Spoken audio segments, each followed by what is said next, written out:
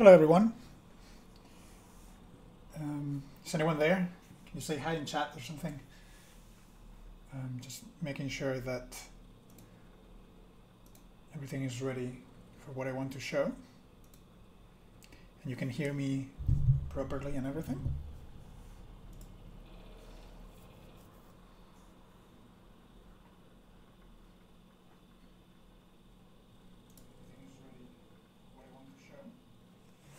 Testing the sound.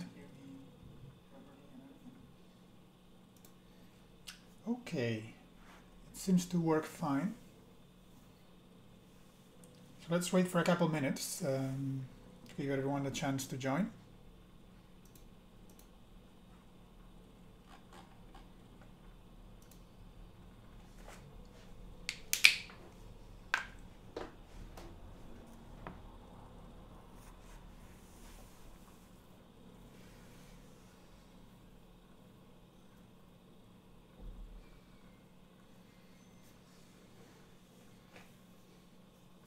Gabri, hola. Glad to hear that everything is working well.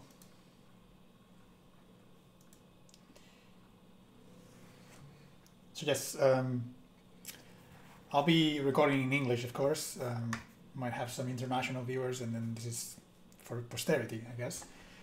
Uh, so please do ask questions and do interact because I want it so that it feels that I'm having a conversation with someone. I'm just remembering Michael and my time with him, and I, rather than writing up something, I, I prefer to just um, verbally express and remember and tell anecdotes and things like that. So let me just go over my notes quickly. Let's see.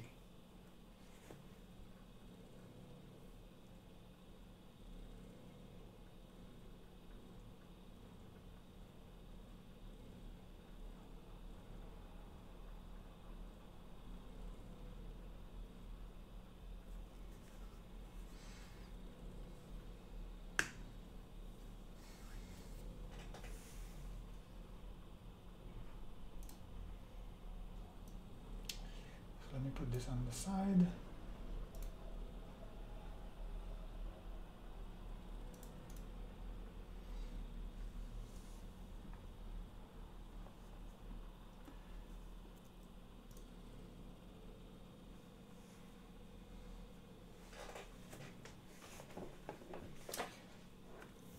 Okay, so I think we are ready. Um,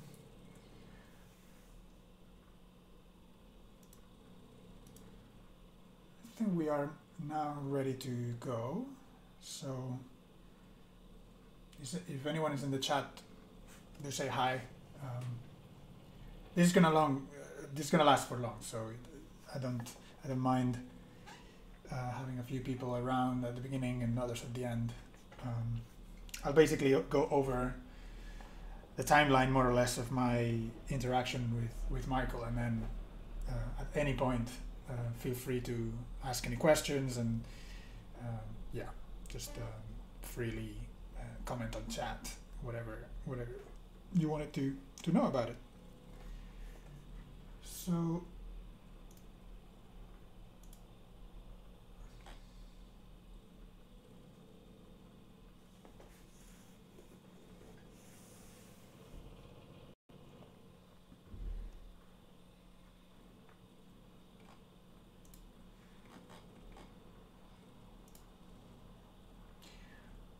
Okay, so I think I will start. We'll probably get some more people joining later on. But yes, so uh, my experience with Michael Atiyah. So I wanted to title this uh, A Mathematician's Night Dream because uh, Michael used to read a poem um, that uh, essentially expressed how mathematicians uh, during the day had to work with proofs and be rigorous and um, always go to the point and, and, and try to be very precise with their thinking and all their formulas. But at night, he said, uh, mathematicians uh, dream. And uh, he said that without dreams, there is no life, there's no art, there's no mathematics. And he always make made a, a big uh, emphasis on, on this side of mathematics where you're dreaming and where you're imagining and so on.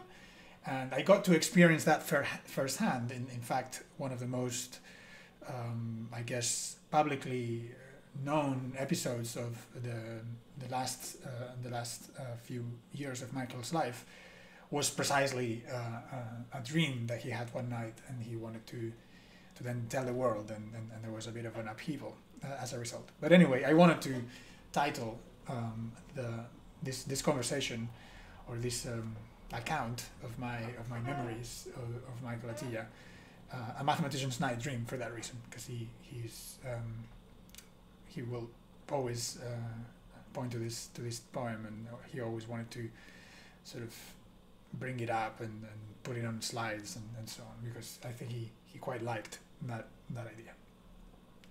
So, um, what was my first encounter with Michael Atiyah? I, I joined the University of Edinburgh in the year 2015, where um, he was, and so he was in the department of mathematics, uh, and I joined the department as a PhD student with Jose Figueroa O'Farrill, and we basically met in one of his talks. Uh, that was uh, my, my contact. There's nothing uh, particularly um, special about it. He was just giving a talk, and I attended, and I thought it was very inspiring. The talk was about the beauty uh, in mathematics and, and, aesthetics more generally in science and so on.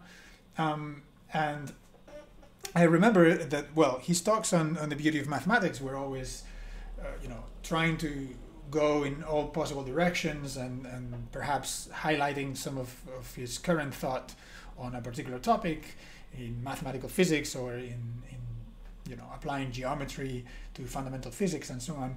And in this particular talk, he uh, at the end gave a, a, an appeal to, to to the young in the audience. He said, uh, "All all these questions are out there for young mathematicians to explore."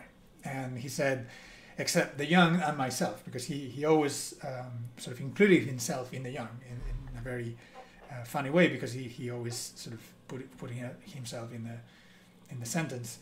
Um, so I, I felt that after hearing this this very inspiring talk about the beauty of mathematics from from this uh, titan uh, of, of well international mathematics really.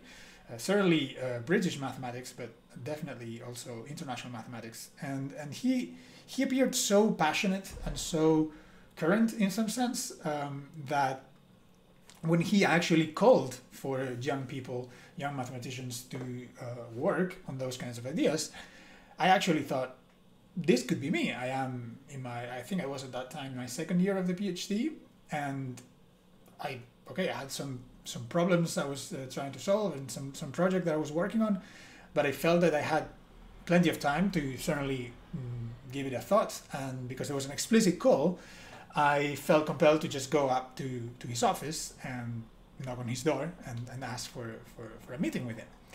And uh, this is what I did. It turns out that his office was just besides mine. So essentially, I, we had a shared PhD office, and down the corridor was my supervisor's office, another office, and then Michael's uh, office. So he shared the office with Andrew Ranicki, who is a very famous uh, topologist who also retired here in, in Edinburgh. And sadly, he also died a few years ago, uh, a couple years before Michael. And they shared office, and it, and it was a lovely office uh, to always go back to. And in fact, that picture is taken in that office, and, and he was always very, um, very happy to to uh, welcome people in the office, and, and it was it was really uh, quite quite an experience to go to the office and, and see uh, Andrew and, and Michael, and they will be chatting and, and, and you know uh, printing things back and forth. And Andrew got a hold of the printer much better than, than, than Michael, so he, he was kind of always uh, getting called by Michael to, to print um, papers and, and things to read and so on.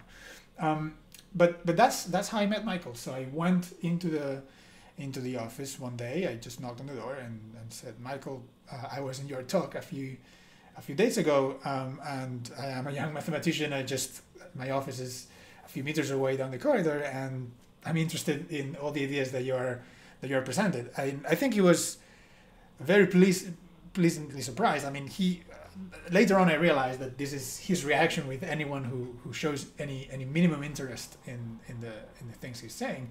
But but I felt extremely welcome. I mean, he didn't know me at all. He didn't know I was working with Jose. He did know Jose, uh, who who was uh, in the Edinburgh Mathematical Physics Group, and uh, Michael Atiyah was, of course, an honorary member of the uh, of the Edinburgh Mathematical Physics Group. Um, and but he didn't know this, so so I, I was just a random PhD student to him, and and he very enthusiastically asked uh, about oh what is your background? Uh, you, you're doing this kind of mathematics uh, and I said well I come from physics. And so he immediately associated me with physics. He, he said okay Carlos is going to be the physicist in our conversations which that never really changed until until sadly his death um, I, I was the physicist to him and he would uh, talk to me as someone who, who can understand the mathematics and the geometry but who is interested ultimately in physics which is partly true. I am a, a, physicist by training, and I am interested in in the foundations of physics at the end of the day, and the foundations of science in general. So it was it was an interesting it was an interesting um, uh, part of the part of the conversation with Michael to to try to explain that yes, I was a physicist, but I, I was interested in all these other areas, and that's something that he of course understood very well because Michael uh, is well known for being uh, such a you know far-reaching mathematician anyway, and having and having influenced uh, theoretical physics in so many ways. So, so that's how it all began. I um, I didn't have any particular um, intentions. I didn't have any particular plans. I just wanted to meet the person. I wanted to meet this personality that uh, that was uh, bursting with energy uh, in, in a couple of talks. I had seen actually two talks. The uh, one on the beauty of mathematics. The other was on the uh, geometric model of the electron.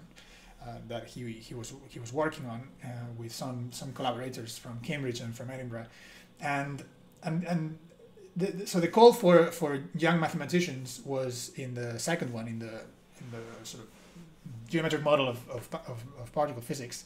Um, the first one was just about beauty, and it was in a very big lecture hall um, in the University of Edinburgh, and that was quite a lecture. It was probably 300 people in the audience, and it was just him going on about how uh, having a favorite theorem is quite like saying what is your favorite piece of music? That some days you listen to something and you're enamored with it for a few weeks and then you change and so on. So it was it was to me it was very clear personally as someone who is very moved aesthetically and i'm normally very driven aesthetically by art and by uh, by music and so on to me, my, my first interface with Michael was this sort of aesthetics and, and artistic side of mathematics, more than you know the long, long history of, of uh, results and, and theories that have been developed from by Michael himself and from his work, right? Which in some sense is uh, a sprawling tree of mathematical theories, right? Um, but to me, Michael sounded like someone that that, in some sense, felt very close to me because I, that's exactly how I experienced mathematics and science in this very aesthetic and sort of almost artistic way. And, and I connected very quickly with that. So when in the second talk that was more technical, it was more about the, the science of, of models of, of matter. When he gave this call uh, to young mathematicians, I felt that I needed to interact with him somehow because I, I, I was there in the in the department. I didn't really other than my supervisor at the time, I didn't really connect with anyone scientifically in the department. Um, you know, everyone was doing their thing, and uh, you know, it was just a matter of furthering your your PhD or your research. And I didn't really find a, a sort of a scientific home uh, in, in Edinburgh. So when uh, outside, as I say, the conversations with my supervisor, so it was very, um, at least the first time I see I saw it, it was very uh, attractive to, to see this apparently very famous mathematician. But anyway, he was a few meters away in the corridor, uh, so he felt very approachable. And so I just showed up, and, and he was he was very very enthusiastic. Which now I know it's just part of his personality, but to me, I, I felt immediately welcome in, in his in his office. So so yes, so his office. Uh, I wanted to make a little bit uh, of, a, of, a, summary of what it was like. So his office was a very small office in the in the, in the top uh, corridor of the of the School of Mathematics in the University of Edinburgh, And the office, whenever he was in, because he used to uh, to come in at, at age 86, I think it was when, when I first met him. Uh, he used to come in, I think, every other day of the week, and he would come in early and have a full working day, and uh, he would meet visitors from all over the country and all over the, the globe. And whenever there was someone there, you could hear him from several uh, several corridors away. So so the, the door was always open, and he was always moving his hands and with, with his walking stick, as you can see in the picture, he would he would sit down with a walking stick like this, and you know waving his hand and talking. And then uh, at one point we'll say, "Oh, I need to move to the to the blackboard," and this will be a, a big effort to stand up and, and walk. But he would walk to the to the blackboard and really use the blackboard, and it felt like he was an old man. He was uh, physically uh, impaired to, to some degree, but the energy was there. You could see that the, all the mathematical uh, energy and all the enthusiasm for science and for mathematics was there. Um, so my meetings with him uh, were always like that. Um, he constantly um, moved around and, and he, he was always sort of like looking up to the ceiling and, and, and making big claims and so on. It was, it was a very energetic uh, person and and he was very old. So so to me that was very um, very charming and, and very shocking when, when I first uh, met Michael. Um, and so then I think I can't remember exactly what uh, the conversation was like when we when, I, when we first met, but I think that because I because I suggested that I wanted to work on those problems. That, that the reason why I was knocking on his door was that he has he had given this talk and he has ended he had ended saying, you know, any young mathematicians should take these problems up and should start thinking about these questions. I said, well, I am a relatively young mathematician. I, I think I can I can try to do this. So he was immediately um, quite happy to to see very uh, physically, very very materially his call being answered. And so I think he immediately thought, okay, Carlos is going to be like a like an assistant or like a student or like a like some, some kind of uh, research uh, assistant to, to, to him. That, that, that I think was his mindset from, from the get go because he had a few uh, students uh, from Cambridge and Oxford and other places in the world uh, that were uh, working with him or, or having conversations with him and, and, and they were somehow collaborating and, and they were in, in conversation.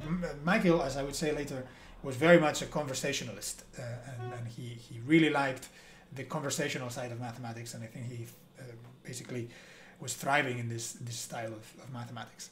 So that was the premise. The premise was that I was going to continue with my PhD, of course, with Jose Figueroa at the University of Edinburgh, but at the same time, I would meet Michael maybe once a week, and uh, he'll give me things to think about. And uh, he he he had told me, oh. We're writing this couple of papers with these other people and you work on this other paper and I have a, a, couple of ideas of what we can do.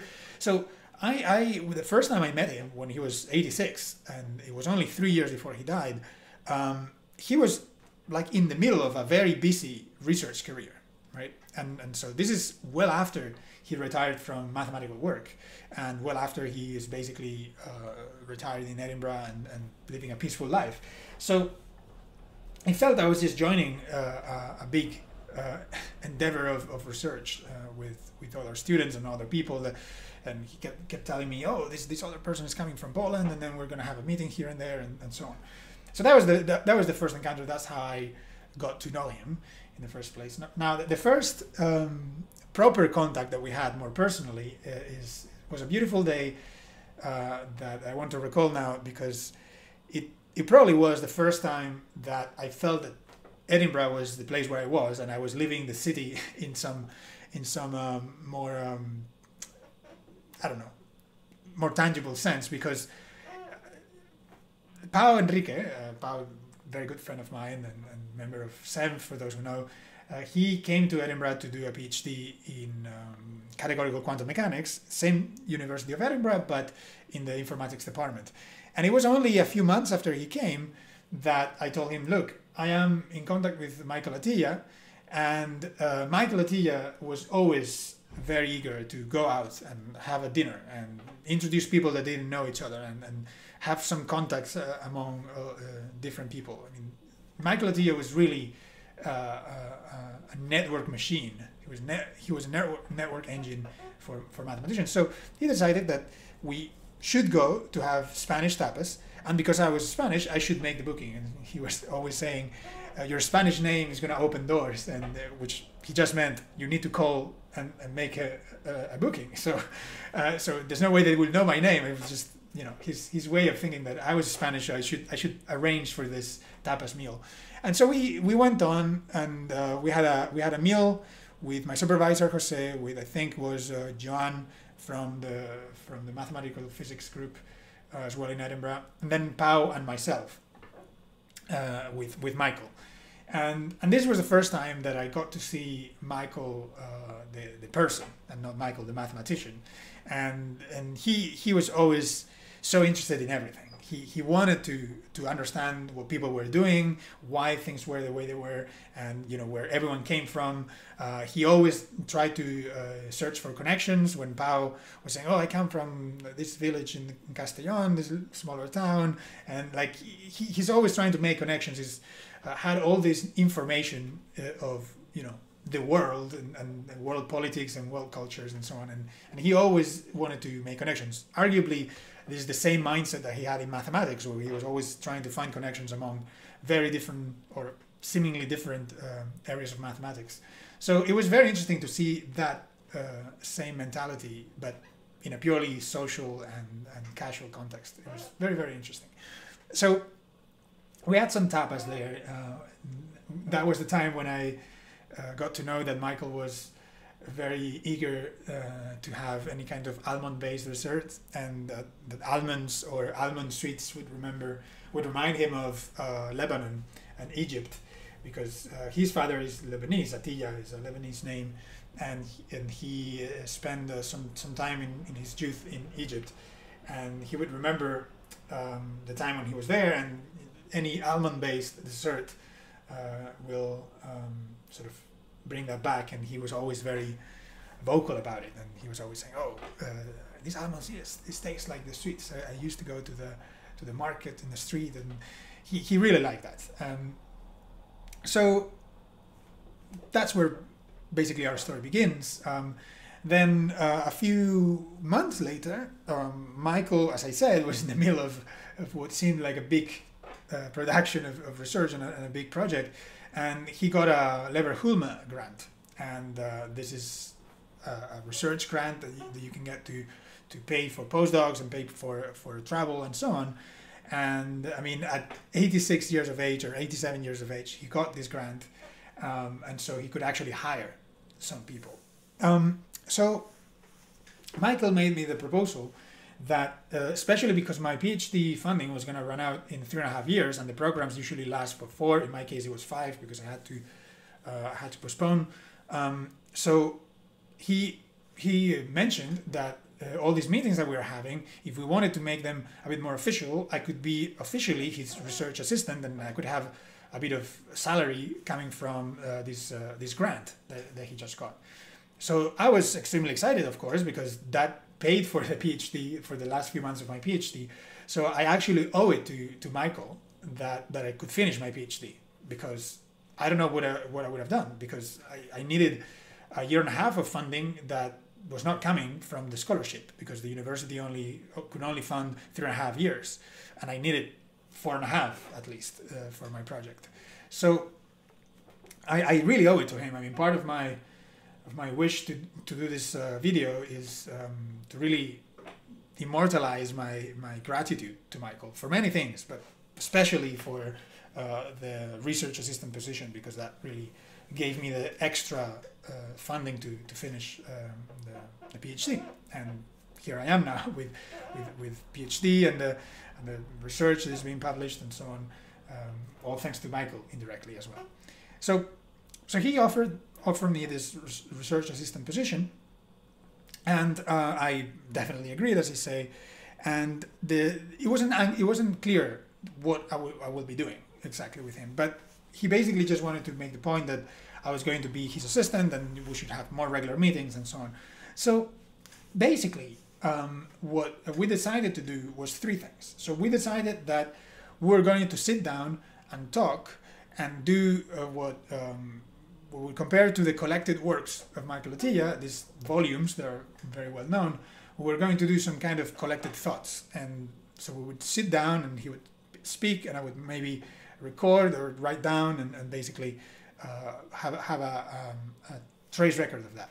Now, this was my idea, and he liked it. He wanted to do it, but he got so caught up with the research that he that he was thinking about and the, and the scientific questions that he was thinking about that we could actually never do this. So we, we, we never got the chance to, to really sit down and have conversations. We had a, a long list of uh, topics that we wanted to cover, and it essentially covered everything because we wanted to somehow uh, collect the the different um, aspects of, of philosophy or, or, or, thought that he that he thought were, were important, which covered anything from politics to family life, to mathematics, science, beauty, art. It was it was about everything, and we had a, a big plan. We had several pages of, of notes on, on, on how to go about the conversations, and I would record the conversations, and then I will transcribe them, and we'll probably make some kind of written text out of that.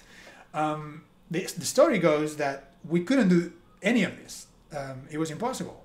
He was so energetic about the research questions that he was thinking about at the time that we just never got around to, it, to do that. Um, I I worked as a research assistant until his his passing in, in, in 2018, but I never got the chance to, to, to actually do this this part of the project.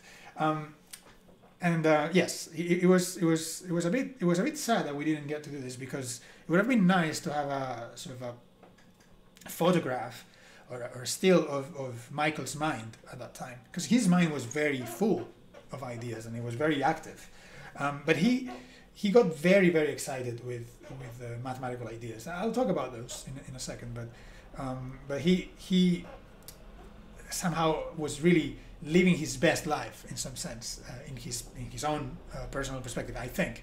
And and he I guess never saw it a priority to sit down and collect his thoughts and you know spend some non-trivial amount of time just uh, re rethinking and, and saying. And and he always said oh there, there are interviews that I've done in the past um, and you can look at those. And and he, he never uh, got the patient I think because he was so excited. It was it was very honest excitement for for the ideas and, and for the research and so on.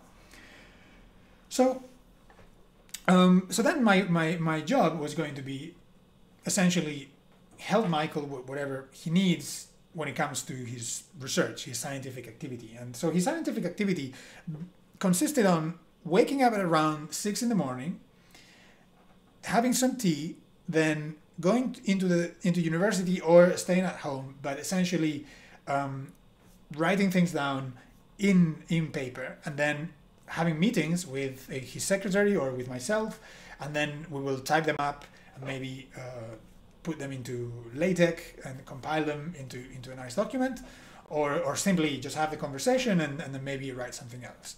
Um, so my work, uh, just to just to be completely clear, my work consisted in go go talk to Michael, um, have maybe an hour long uh, scientific conversation, or really it could be about anything, as I'll say later. But um, and then after that, uh, I'll I'll collect some notes, and maybe he said I need this the slides for this talk I'm giving, or I need this uh, typed up in LaTeX, and so I would I would help with with um, with the LaTeX well, and, and, and, the marking up and the and, and generally technology whenever it came to for example there were some computations that we had to do some polynomial computations and those things i could help with and, and yeah so so that so that was my role. So officially it was a it was a research assistant role but by the end of, of, of michael's life and by, by the time that um, we, we had gone into a routine and we, are, we were doing this regularly um, my my position was very much like um, like a collaborator in some sense, or like a like a co-researcher. I was I was going uh, to his office just to discuss the several uh, the several items that, um, that that we were discussing. So let me show you some um, examples of these notes. So these are these are notes that he typed uh, uh, prior to our meetings. So you can get a sense of, of the kind of work that we were doing together from this. Um, so this is, so this I, I imagine this is uh, 23rd of November uh, of 2017, probably, and this is Michael was thinking of writing a course and a book on on some of the um, geometric models of matter. This this is this is a project that he had been doing with uh, Nick Manton from from Cambridge and I think Bernd Schroers as well in Edinburgh, and maybe someone else I, I might be forgetting. But this, this was some um, research project that, that he has he had been doing, and there had there had been a few papers published in years prior, and and but he was generalizing this, and he was telling me about it, and he was extremely excited. Uh, to, to talk about chemistry and to be able to use geometry to describe chemistry and so on.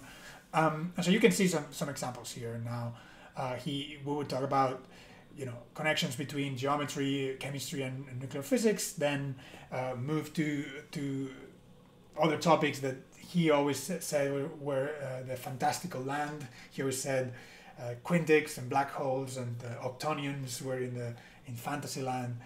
And then he would uh, usually uh, mention some some of his favorite topics, you know, Jones polynomials and and K theory applied to to theory and so on. And then uh, something that already appears here, which is going to be uh, a big part of the uh, of Michael's uh, scientific uh, interests at, at, the end of his life, are physical constants.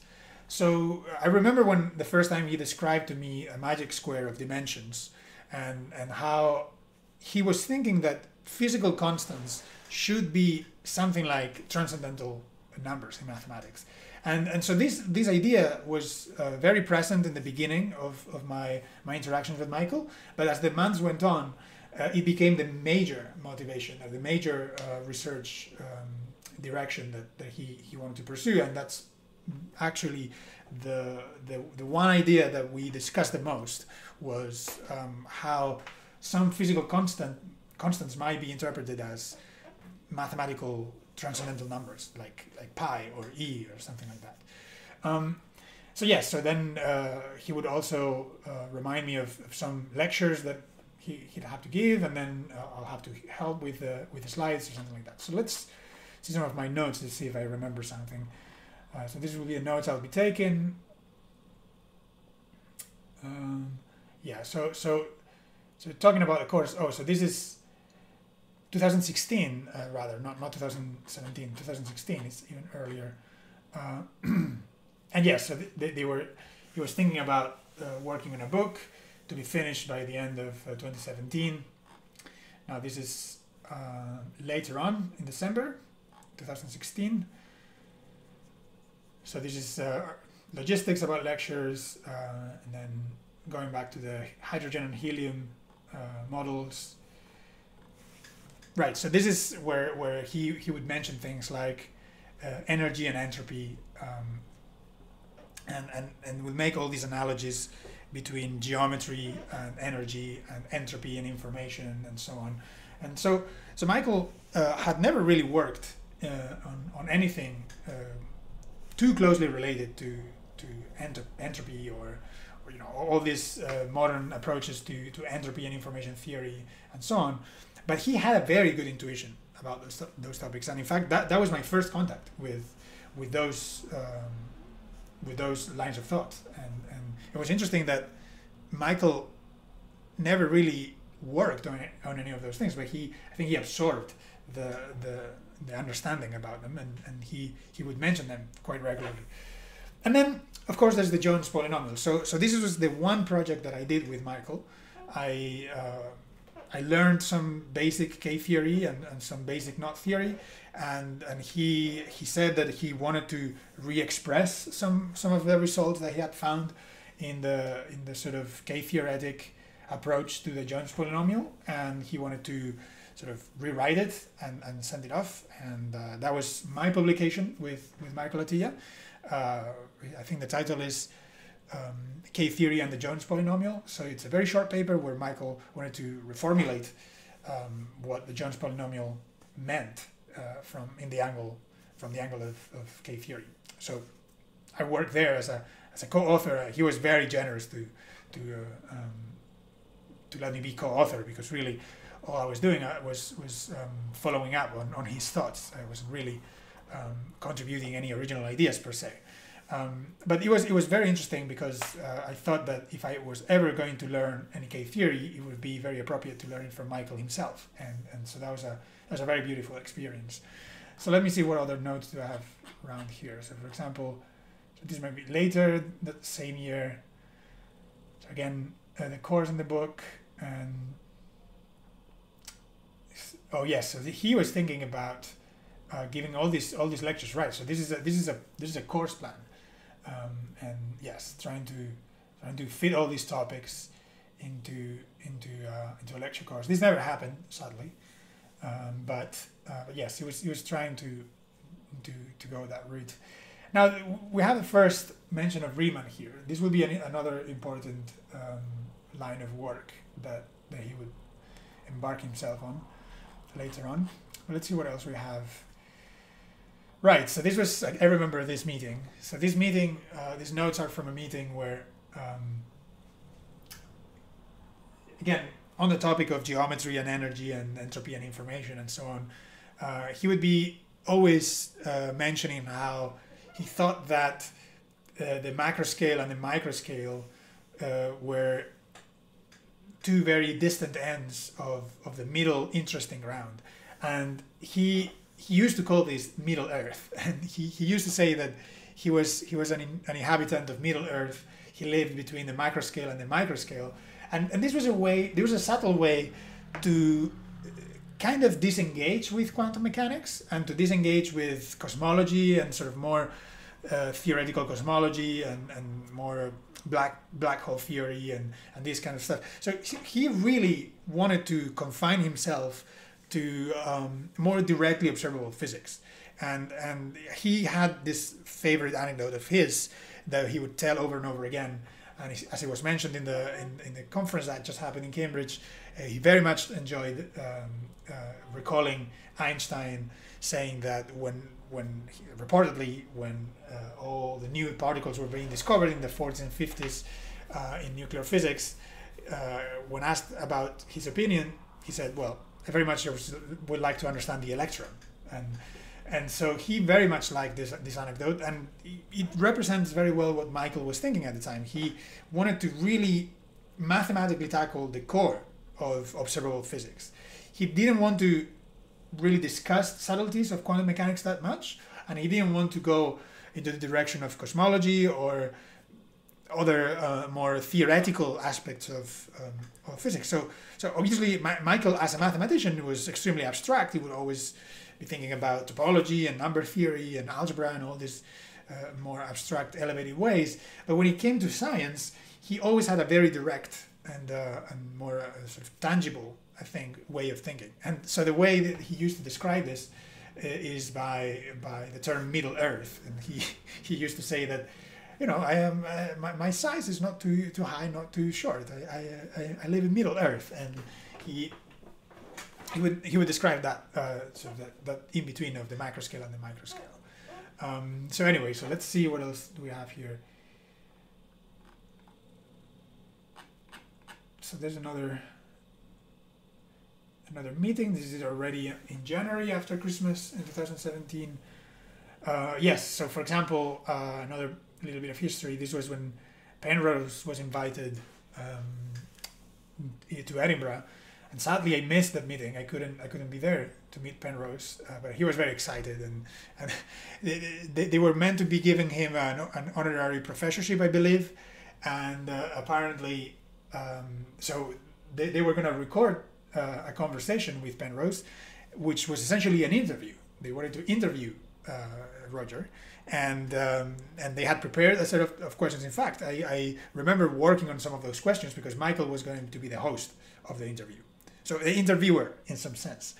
And um, I, I was already a bit skeptical about this because I thought Michael probably is not the best interviewer because he talks a lot. He he's a very dominant conversationalist, um, and so it turns out that that conversation, which is recorded, I think it's kind of, is accessible somewhere in the University of Edinburgh, um, has Michael talk for over 80% of its duration. So it's it's very interesting. It's meant to be an interview of, uh, of, of, Roger Penrose, and it ends up being essentially uh, uh, a, Michael Atiyah monologue. But anyway, it's, it was a conversation between the two. It was, it was very interesting to have.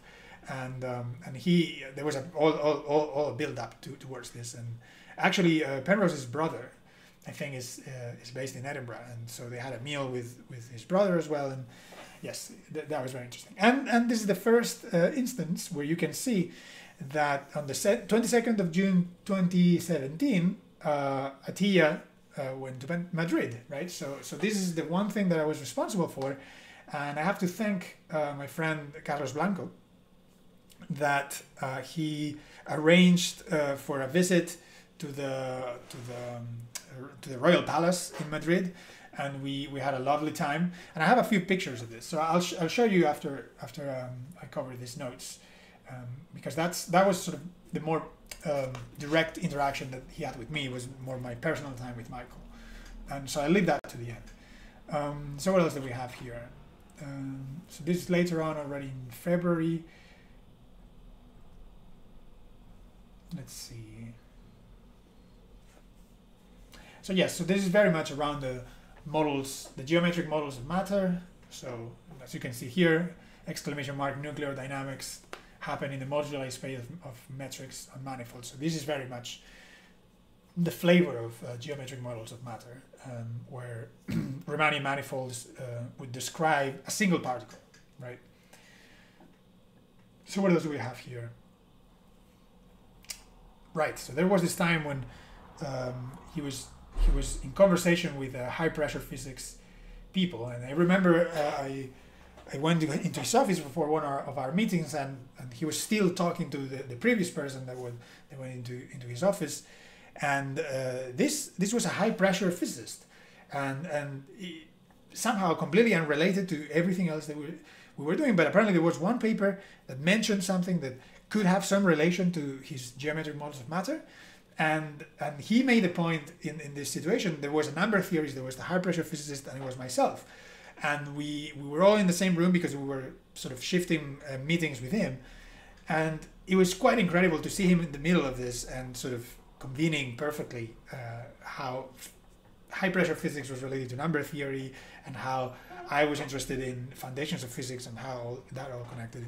It was just Michael at his prime in, the, in some sense as a, as a social networker.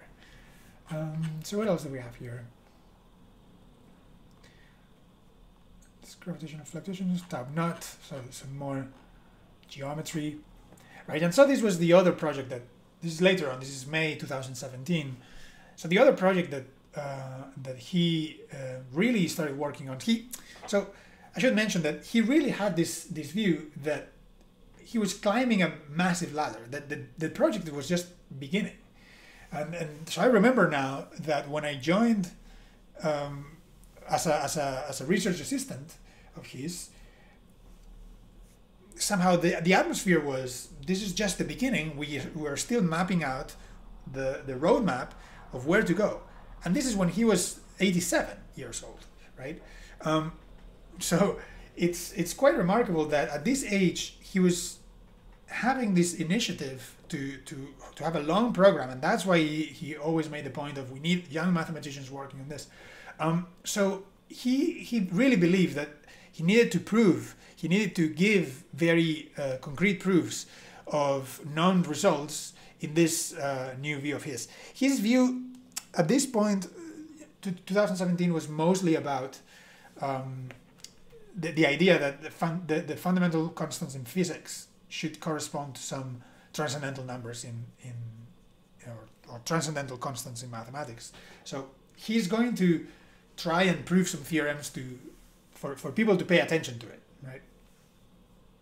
So he decides to go for a for a classic group theory theorem, the Feit-Thompson theorem, uh, which says uh, that a group is soluble when it has uh, a sequence of subgroup subgroups satisfying that, meaning that it's, that it's simple. Um, so so he would work on this and uh, I'll, I'll help him with uh, typing up and in conversations i'm obviously not an expert on, on, group theory by any stretch, but uh, could, we could have conversations about it, and I will try to understand roughly what he was he was doing and so on. Now, of course, this is from later, and then there's just a question of what is a fermion. This is what he says, and so so these are these are some of my my own notes for what to do after after meetings. So, um, and oh, this is a very sad historical note. Um, so I'm just reading. Let me see. This should take.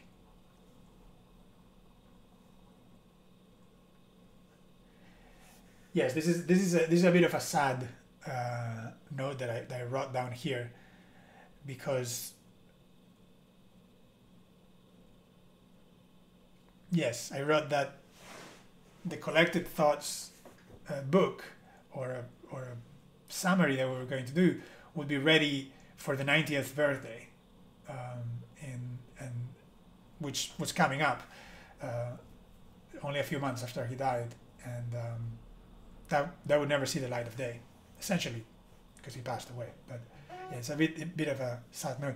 And then, yes, um, you can see here there's a little note on Turron. So Turron is a traditional sweet from from where I'm from, uh, from Alicante in Spain, which is a which is an Arab influenced um, dessert, typically consumed in Christmas. Um, and when when he mentioned that he really liked almonds and so on, I thought immediately of this. So I brought him some some Turron, and and then every Christmas uh, after that he always remembered that, and so I brought some some more Turron, and so it's part of the, the more personal connection that I had with him that, that he always identified uh, uh, identified myself with um, with that part with Spain, with the Mediterranean almonds and so on, and I remember uh, I I went on. Um, on St. James's Way, Camino de Santiago in Spain, and um, and of, of course the most typical um, street to have there is uh, tarta de Santiago, is this cake that's essentially made of almond.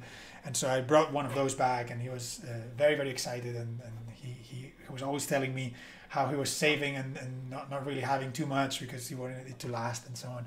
So it was very, really heartwarming to see the mathematician all busy at, at, at this point. I think it was already 88 years old. And, and then just going on for maybe five ten minutes on on, on how good the almonds are and, and you know and, and trying to uh, find the connections of the, the trade routes in the Mediterranean and all the all the history of it.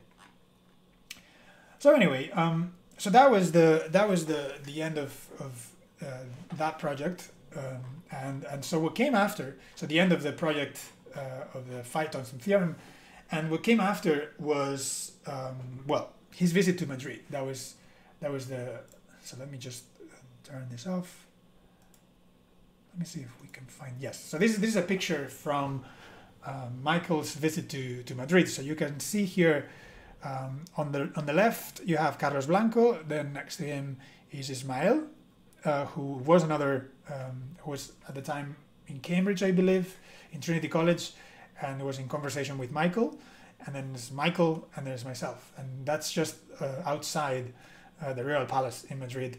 And so I think I have a video that I just it just shows a few seconds of us uh, walking around. But hopefully you can see that at this age, this is 88 years old, you're still walking around Madrid in the sun and very energetically talking. So I'll, I'll just play it for a few seconds. There were always wars. And anyway, there was actually the Civil War in England. Father was king that was very good too. Mm-hmm. Because that Civil War turned everything upside down. Mm-hmm. So the scientists were able to, people were not being. So I'm sure that you could see there Michael being Michael, uh, talking about history with, with Carlos Blanco, uh, just uh, finding connections. And he walked all the way from where the taxi uh, dropped dropped us off uh, a few meters behind to the palace. And then inside the palace, they, they used a wheelchair to, to go around because there's way too much walking. But but but this is this was him. I mean, he was as alive as you can be. I mean, this this is perhaps the the one the one thing I really wanted to mention and to show these pictures and to show this these memories is that Michael was very much alive.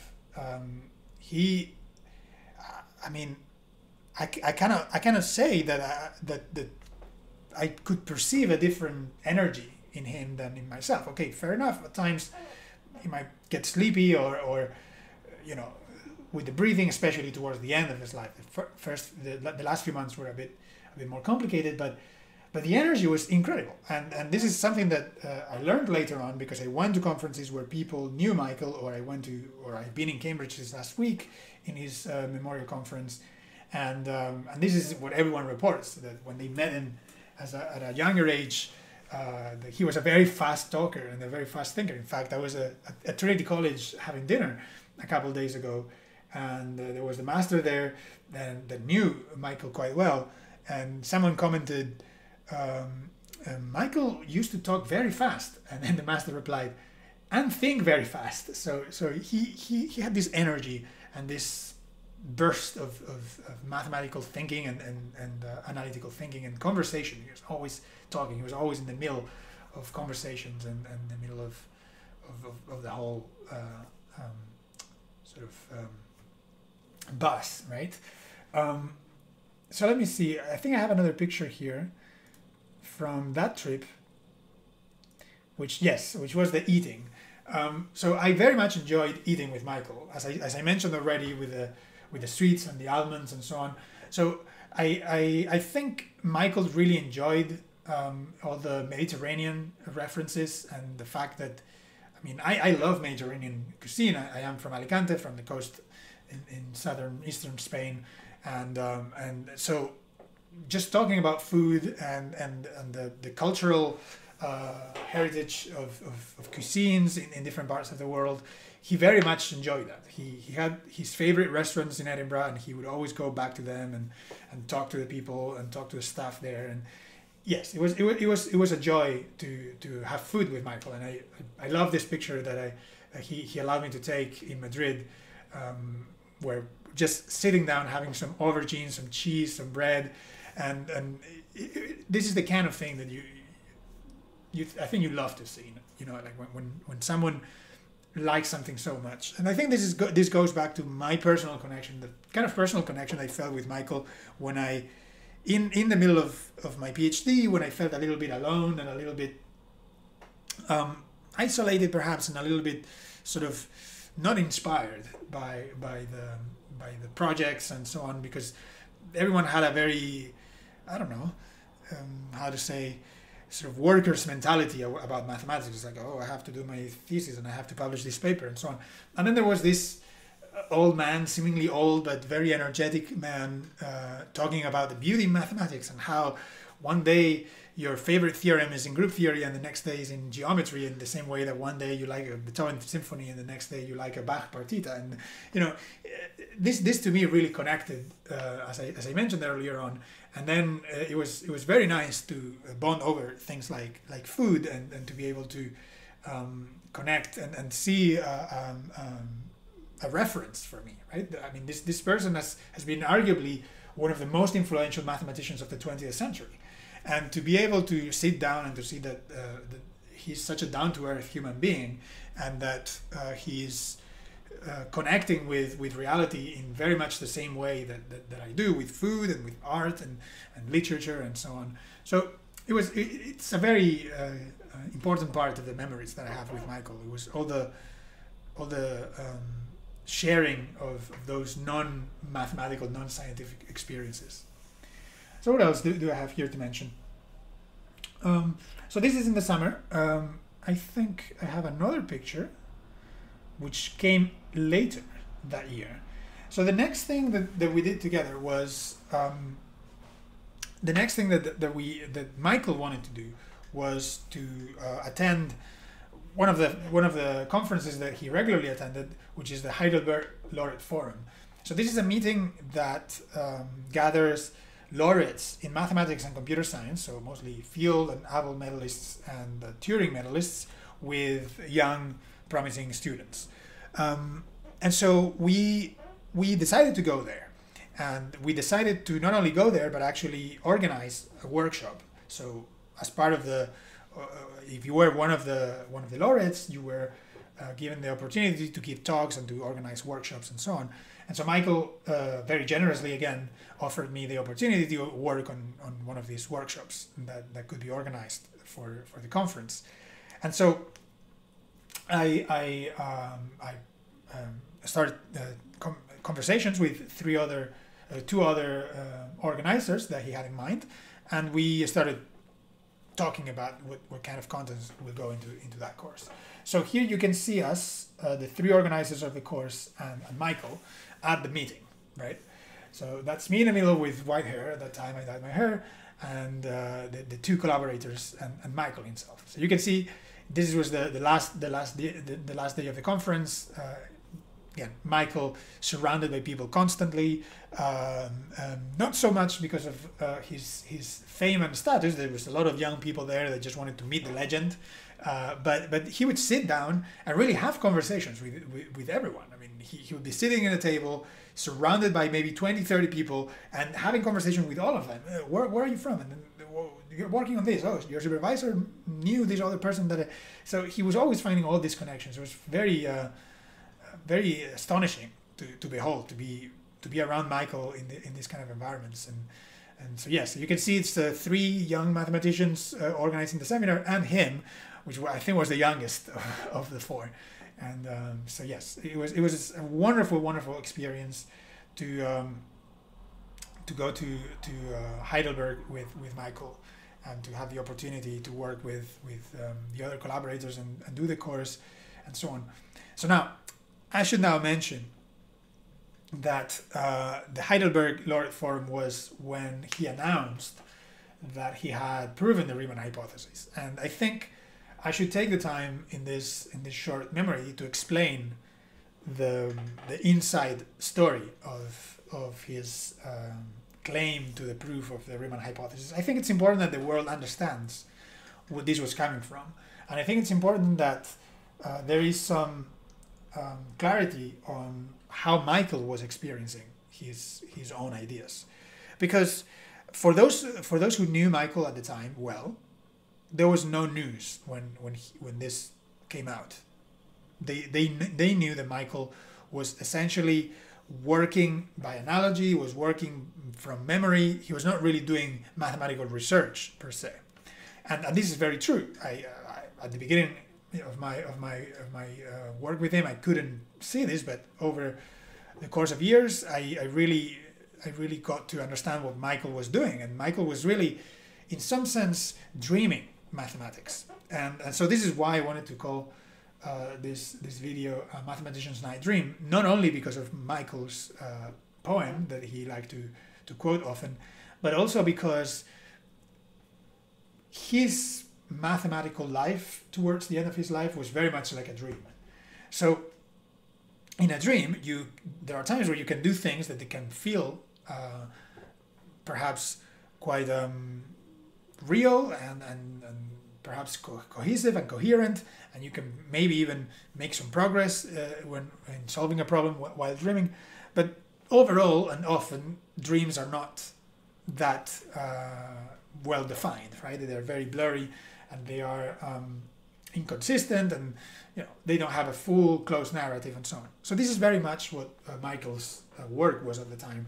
Uh, Michael's mind was extremely active it was when it came to more human, um, so more humanly uh, bound uh, topics such as politics or, as I said, food or, or culture or, or, or, history, these kind of things. His mind was very much working uh, perfectly, if not uh, better than than anyone would expect at, at that age. I mean, it's pretty incredible. But when it comes to mathematical thinking and, and really developing mathematical theory and proving theorems and, and making precise statements and so on, his mind was not really uh, at that stage. I don't think he could hold the, the, the, the, the line of the, the, the train of thought enough at that age. This is just, a, I think, a sign of old age. There was for, for someone so special um, to be to be functioning at that level at that age is already incredible. So it's perhaps not not so surprising that the hard mathematical work um, that that is um, normally attributed to to to you know the brightest moments of someone's career was not going to happen in, in these years. And indeed, Michael was most of the time, as I say, working by analogy. He was reciting some uh, facts and, and, and, and some um, uh, ideas and concepts that, that he very much understood uh, at a younger age, and he even discovered himself and developed himself.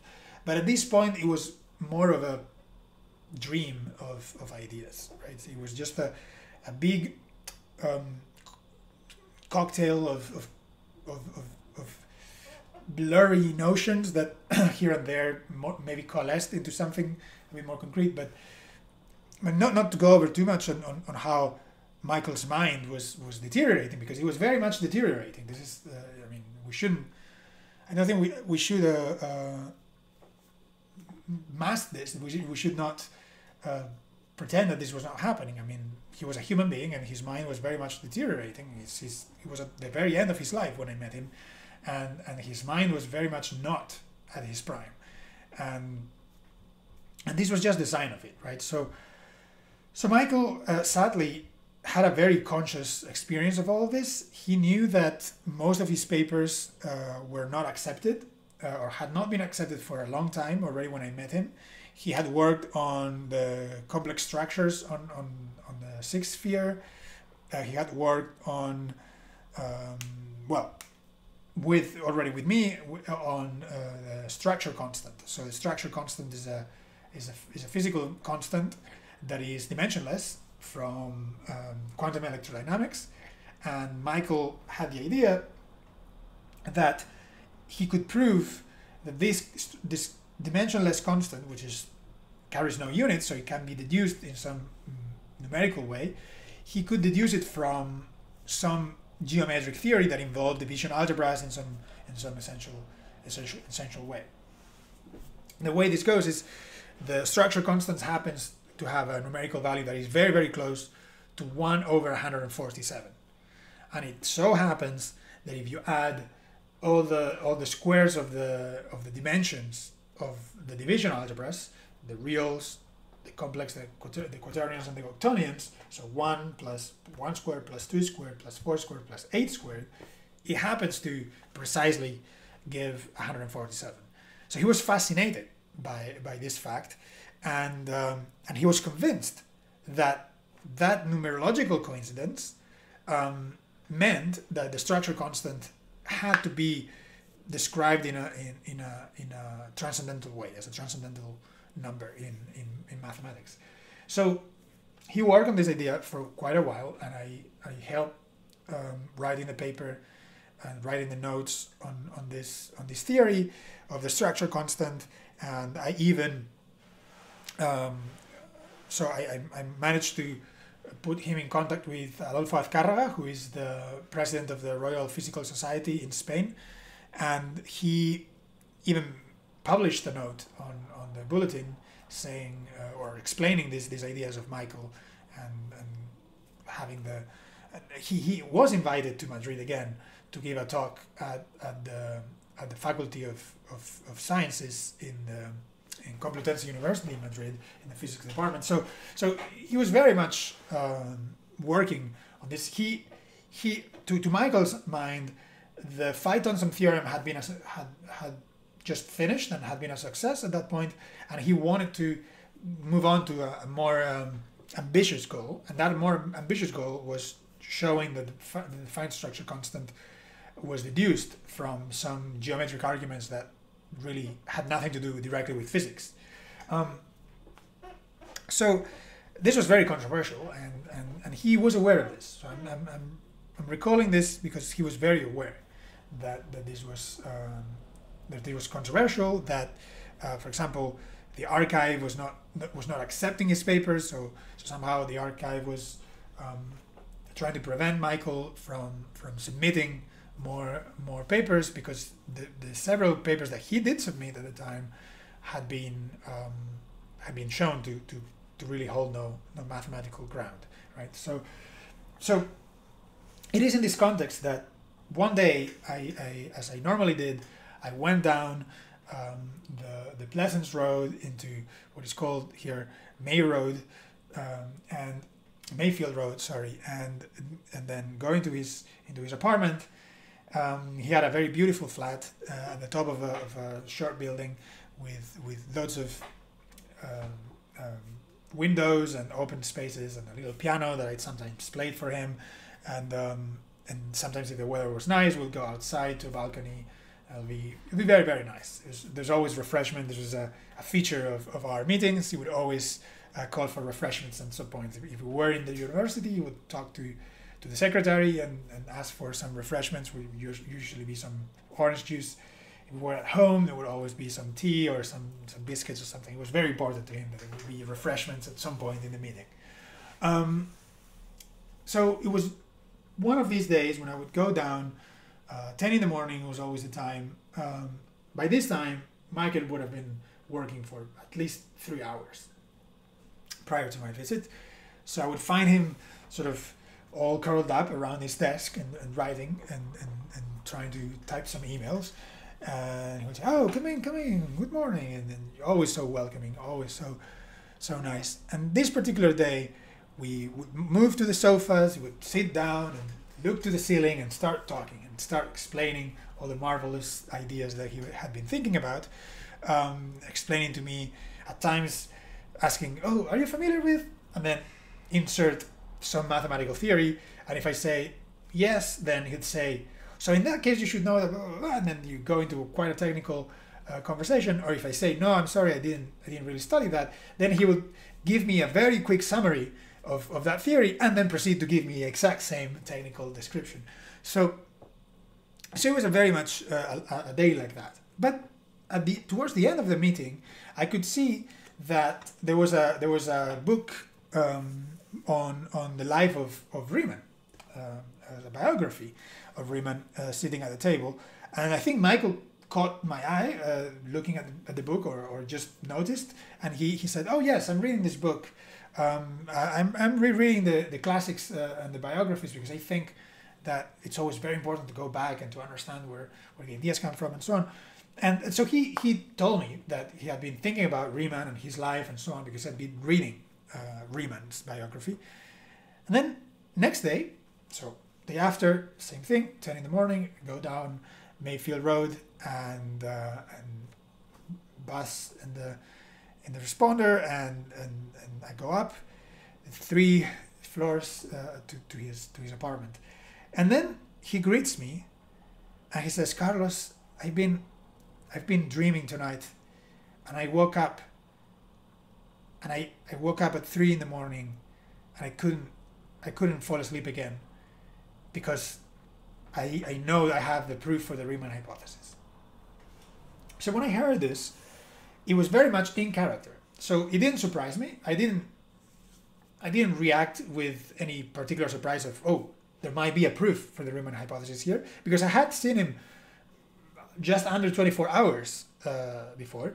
He had not mentioned the Riemann hypothesis anytime in all the years that I had collaborated with him, that I had worked with him, the few years that I was in Edinburgh, I had I had produced a, something like four or five slides for talks where he would cover massive amount of ground of things he was thinking about and the theories in his program that, that we will go and that should be proved and how the geometry is, go, is going to lead the way and how physics is going to become this mathematical theory everything is going to be so perfect and so on very much in the vein of Einstein, and he was always mentioning his heroes being Einstein and Maxwell and, and all these things. So, so that's very much that was his main endeavor towards the end of his life.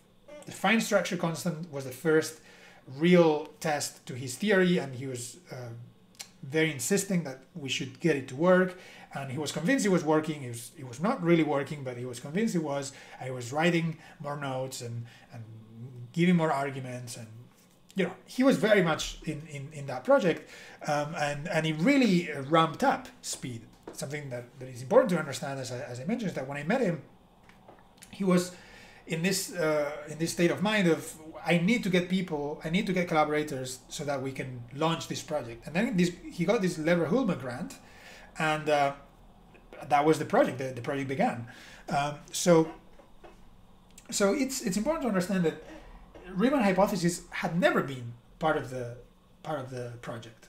It was never it was not even close to, to many of the formulations, many of the sort of streams of ideas that, that people were people were uh, working on in, in the in the collaboration.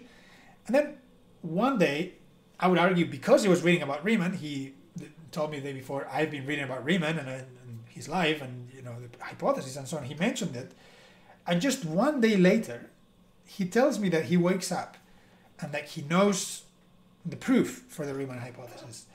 So, as I say, I don't take this to be that different from many other things that he's saying because he was extremely convinced that the fine structure constant was deducible directly from the division algebras and some geometric theory that, that he was convinced could be put down in a few sentences, but he just didn't have the time to, to flesh out the details. So every time that someone would uh, ask him to, to provide more details, he would give more explanations and more sort of hand waving and say, but really is just a matter of sitting down and, and doing it.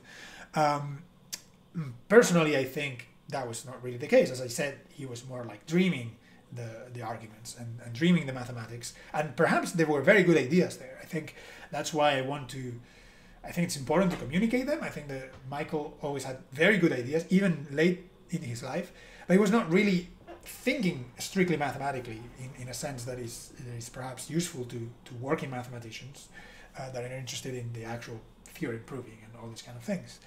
So his claim to, to the proof of the Riemann hypothesis is very much uh, in this vein, right? So he's very much in this context where he dreams about doing mathematics and and then he sees the mathematics and, and he remembers i guess uh, a life a lifetime of doing mathematics and has the almost the you know the cognitive repetition right? The, the, the, muscle memory in some sense the mathematical muscle memory to to go over this sort of lines of thought. But the work is not really being done. And and this was the most apparent with the Riemann hypothesis. Unfortunately as now is public and everyone everyone knows uh, it, it was it was turned into a media storm. So because and uh, I can I can record this anecdote he, anecdote here for anyone who is interested. Um, that day when I when I went to, to Michael's and he says, I have the proof for the Riemann hypothesis. We were writing an email to the Heidelberg Heidelberg Laureate um, Forum organizers about the about the meeting that we were doing about the seminar that we were doing. So um, this picture here on the screen is showing the, the organizers for this for this seminar. So Michael was giving a keynote talk, and we were organizing this this seminar with him.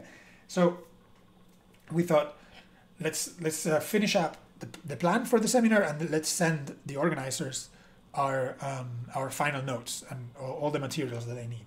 So that was what the meeting was about. That's the reason why I was at Michael's flat. And what happened was that when when when Michael could write emails, and he he did write emails, but if I was around, I would type much faster, and I would find files much faster, and I could do the attachments and everything much faster. So if I if I was around in his flat, I would type the emails for him. So I would sit down at the computer, and he said, "Okay, let's send uh, uh, the, the Heidelberg people uh, our our plan and our materials." So you know, get the files, attach them to the, to the email, very routine stuff. And then when we were about to send the email, he said, "Oh, wait a minute. Why don't we check the timetable to, to make sure that everything is is working fine?" So I go to the HLF, the Heidelberg Forum website, check on the timetable. He's just looking at the times, and then he spots that one of the for one of the seminars uh, on the first day is on some numerical um, some numerical uh, numerical number theory or, or, computational number theory that uh, perhaps can shed some light on the Riemann hypothesis. So the Riemann hypothesis is mentioned not as the as the main topic in any of the talks or seminars, but as part of the possible interest in, in, in some of the in some of the seminars. And he says, "Oh, we need to uh, we need to inform the organizers that uh, that I have a proof. So perhaps I have something related to say to this seminar, or I wanted to." So so he he saw that someone was talking about the Riemann hypothesis or the Riemann hypothesis was going to be mentioned. So he really wanted to, to tell the organizers then that he had a proof. So he said, please add a, a postscript with what I say. And he started saying, I think I have a proof of the Riemann hypothesis, blah, blah, blah, blah, blah. I was like, okay, Michael, so why don't you, why don't you um, first consult with your with your uh, council. So we used to say that Michael had a council because he had a mailing list of several Nobel prizes and field medalists and, and, and important scientists and, and mathematicians, and he would send things around and he would contrast, contrast ideas around. He had conversations with Ed, Witten and, and uh, Alain Connes and you know very important mathematicians over over email. And so I just suggested and, and he would normally include me because I had the files and I had to forward them the, the, the files to, to these other people. So so I, I, I suggested Michael, why don't you first discuss it with, with the council, right? With your with your friends, with your with your your peers. And and he said, No, no, no. I'll do that later as well, but but now we, we need to tell them because the, they're they're organizing this and he was as you can imagine uh, very energetic and very uh, passionate about this. So he was he actually got angry at me that I was just not typing what he was saying and just sending the email. So he was getting very frustrated that I was trying to to push back a little and say, Michael, you. I, I was not saying, Michael, you don't have a proof. You can't say because it's important to know. I should mention it here that. Um, even though the people who, who were close to him at, at the end of his life, we knew that what he was doing was mostly dreaming mathematics and not so much doing mathematics we we saw that this was his lifeblood. He was he was so passionate about it. He was so happy. He was every day he woke up super motivated and, and extremely energetic, and um, even despite the situation, um, his wife had died recently. Um, you know, some family issues. His health was deteriorating. It was really quite astonishing to see all that energy in that in that situation. So we felt that it was it would be such a tragedy to, to really convince him that what he was doing was was wrong. And we couldn't convince him. I mean that's that's part, another part of the story that even if we tried it would be impossible to convince him that what he was doing was was perhaps wrong or that he he was too old to do this. I mean so it was it was absolutely out of out of the question that we would argue in that direction uh, for for many reasons.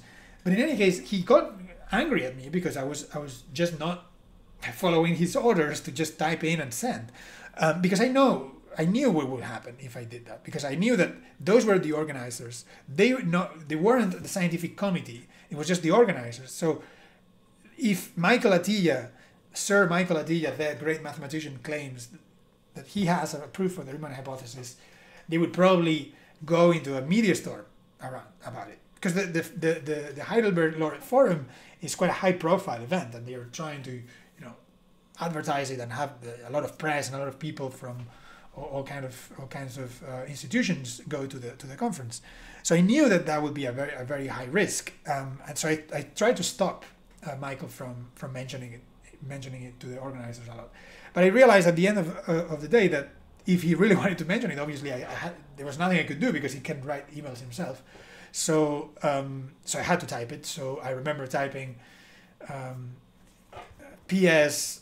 Um, I see you have a seminar on the Riemann hypothesis, but this might not be necessary because I have a for Riemann hypothesis.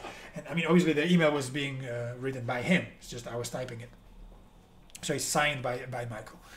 Um, and so what what, after, what happened afterwards uh, is, as they say, history, because um, this was the media storm that then followed with um, the organizers, the HLF organizers, tweeting out uh, the the fact that um, Michael might have, they did say they, that he did have, but might have approved for the Riemann hypothesis, and then uh, they decided to re- reshuffle the schedule to put him in a different uh, slot to talk about the proof for the Riemann hypothesis instead of his his uh, his main topic, which was the fine structure constant. He still talked about it because, of course, his his his uh, his talk was going to be about everything, uh, but but they they changed the title to to to include the proof um, for the Riemann hypothesis, and they they advertised it, and there was a media storm about it. I'm sure that everyone watching, uh, who or anyone who is slightly interested on, on that part of the history of mathematics remembers that all the media echoed about this. Uh, Sir Michael Atiyah claims to have solved the Riemann hypothesis, and of course, if true, it would be absolutely incredible. Um, but there is a tendency for all mathematicians to do this. So I was very, uh, I was very uh, conflicted uh, that that I was the person clicking clicking send to this email that created this meteor storm. And I have to say, at a personal level, I think Michael was aware of it. I didn't really I, I didn't really worry too much about Michael. I knew that this would be similar to the to what um, the fine structure constant had been, or to what the the complex structure on a six sphere had been. I knew that he would argue about it. I knew he, that he would have many ideas, probably useful and, and good ideas for other people to to develop. Um, but but he would not actually have the final answer to to the to the problem, and, and definitely not a complete proof that you can present in a mathematical conference. Um, so, the, so the rest is, is uh, as everyone know, uh, everyone knows uh, the um, bit of a tragedy of marketing stunt on the side of HLF. I think they they really tried to seize the opportunity to create a lot of media interest in the meeting and at the cost of uh, Michael's reputation because of course if you get that email and you're an organizer you run it with the scientific committee directly, and the scientific committee would say, well, that's highly unlikely given uh, Michael's recent work, and if anything, uh, we should we should uh, get some evidence that there is a proof before announcing that there is that there might be a proof. Um, so what they announced was Michael's claim uh, to have a proof, and I think that's the mistake. They should have they should have kept to, to the plan, give give Michael a, a, a talk, and keep the title as it is, and uh, and and if Michael wants to uh, change the title to, to have a, a, mention to the Riemann hypothesis, then the scientific committee should should have a conversation. But none of that happened. It was just directly uh, uh tweeted out. In fact, the, the email that I wrote was tweeted out. It was quoted. Uh, the line, the PS line, uh, was quoted and, and, and tweeted and that's what happened. So I think it was a bit sad, but nonetheless, uh, HLF, uh, where where that picture was taken, was a wonderful, wonderful experience. I personally enjoyed it very, very much. Um, just meeting the people, uh, I met a dear friend now, um, Silvia Buti, there as, as well. Um, absolutely, absolutely wonderful event, and seeing Michael at his best. And I think that was probably one of the one of the best conferences that uh, Michael attended in terms of his participation and his enjoyment. Uh, mean, as, as he told me, he, said that it was one of the most interesting events that he had attended in, in, in, recent, in recent years. So I was very happy to be there. So I thought that that was something that needed uh, clarifying and that I should, um, should have um, clarified here for the record that that's how the Riemann hypothesis uh, came to be and that was uh, how Michael uh, experienced it. He was very aware that people didn't take him seriously. He was very aware that um, people were very skeptical about his work, and he just thought that, you know, people didn't see what he saw. He he was not. He was not uh, conceding that he was not uh, he was done as a mathematician. He he just trusted his instinct so much, uh, and can you really blame him? to trust his instinct so much because he had been right for so many decades, not just years, but decades in the past, had been so right about so many things where he had an intuition or he had a vision and, and it was fully fleshed out and realized in, in, in the future, right? At a later time. And um, can you really blame him that he wakes up from a dream and he has a gut feeling that he's proven the Riemann hypothesis? I don't think you, you can really blame him and um, but it was it was a bit a bit um, yeah conflicting to to be around that that media storm and all the interest that was generated. Of course, there were some funny moments where where people would come to me saying, "Oh, have you heard Michael Atiyah has a proof for the Riemann hypothesis?" and and uh, I found this this document online, and they would show me some PDF, and I was like, I wrote that PDF because I am I am Michael's assistant. So it was it was it was interesting on my side to be so close to the to the eye of the storm in in, in that sense and in, in, in, the wider mathematical community but at the end of the day, I think that it really it was a bit sad that Michael decided to really push hard for for these very ambitious ideas at the end of his life, um, and I think kind of more and more um, retract from from the feedback. He he he really stopped listening to feedback uh, entirely at some point, and he would sit down to to talk, and as long as you're talking, you're having an exchange, he'll be very happy. But uh, but if if someone just uh, really contested his his claims, he would disengage, and and I think it it's I, I think that's another side of what he was doing. He was um, very much playing to be a mathematician in some sense. It, it was a sort of an old age hobby going back to his to his uh, glory days of, of, of, doing mathematics and I think he was doing that and as I said before it's such a beautiful thing to have to to wake up early in the morning every day full of energy with with ideas on how to do and to give ideas to to visitors coming from Norway from uh, Poland from uh, from Cambridge from always uh, uh, all different places in the world. Being invited he, he went to rio de janeiro to the international mathematical conference. He went to china several times you know this time he went to oxford we were invited uh, again by my friend carlos blanco to, to an altius conference in, in oxford where he again talked about the beauty in mathematics and so on it was it was incredible um, knowing Michael. He was a force of nature. I think this is an expression that a lot of people use who, who um, talked to Michael and to, who knew Michael. He was a force of nature. Um, he he's he was a very special human being. Uh, I I am of course not the right person to to give you uh, any historical review. This is everywhere else um, uh, by by anyone else who's who's had a much longer contact with him. But I just got to see the final the final uh, burst of energy, the final flashes of this uh, very bright star in the in the scientific and mathematical and intellectual night sky. It was it was quite a quite a quite a time, and uh, I I feel very personally attached to him because um, towards the end, perhaps I should move to just talking about the end of his life. Um, we just continued after after this conference for some months um, and um, into 2018, which is was going to be the year where I finished my PhD, and uh, we went home for Christmas, and I came back. And when I came back, a few days uh, when I was in my office, my supervisor wa- walked in. I said, "Carlos Michael passed away this morning," um, and so it was a very, it was a very disconcerting time. Um, I didn't I didn't expect that at all. Nobody expected that.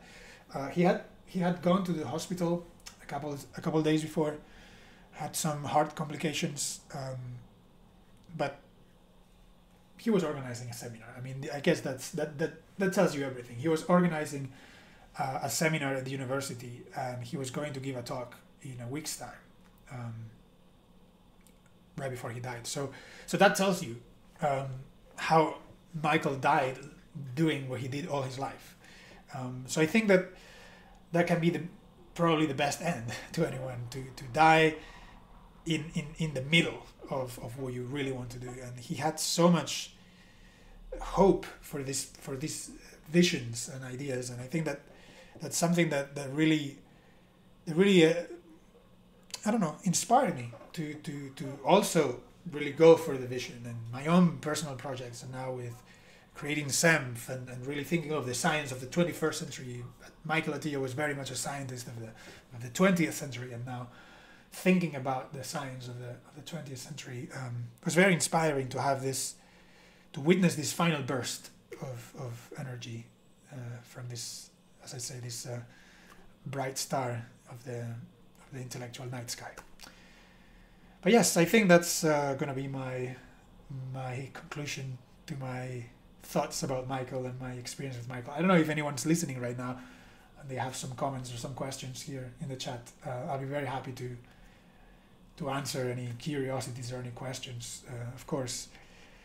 But yes, I think that's my my conclusion about Michael. there are many anecdotes that could be told, um, but I think I would leave it at that.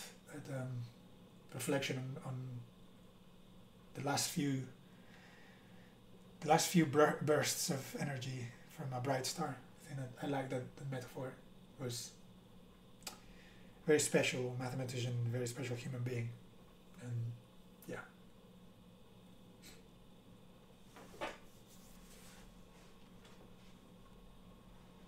Very special.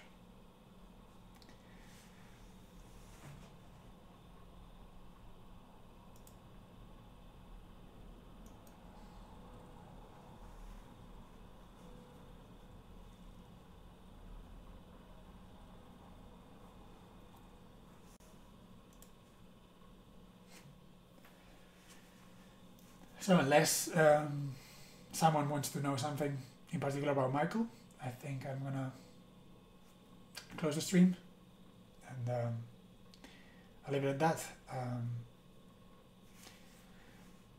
I think this uh, picture of Michael is really nice in front of his. Gracias a ti uh, por escuchar. That was um, my memories with Michael Atiyah. Thank you, Federica. No problem. Yeah, I got a bit emotional at the end. It's it was it was. I really wanted to do this because since he died, it was so sudden. It's been uh, sort of a, you know, life kept pushing, and and, and I really wanted to find the time to to condense my my thoughts about it. So it was my pleasure. Thank you, everyone.